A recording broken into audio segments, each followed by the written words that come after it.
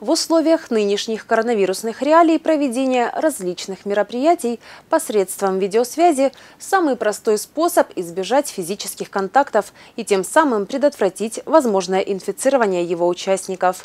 Отдел по делам молодежи администрации Харциска в условиях действующих ограничений вынужден пользоваться как раз таким форматом общения, не пренебрегая, впрочем, и встречами на открытом воздухе.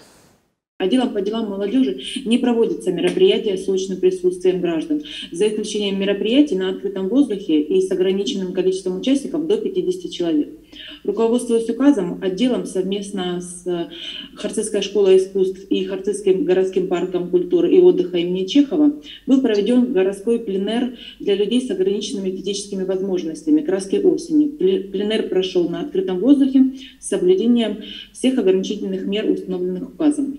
Также отделом по отделам молодежи проводятся различные онлайн-мероприятия. В формате онлайн прошел челлендж ко Дню Учителя, в рамках которого участникам было предложено создать оригинальное поздравление э, учителя с профессиональным праздником и опубликовать в социальной сети ВКонтакте. Ко Дню Белых Журавлей, Дню поэзии и светлой памяти погибшим, совместно с Дворцом культуры запланирована видеосъемка литературной постановки, а также проведение на открытом воздухе вечера памяти в формате «Вечер песен и поэзии у костра, посвященных погибшим на полях сражения во всех войнах.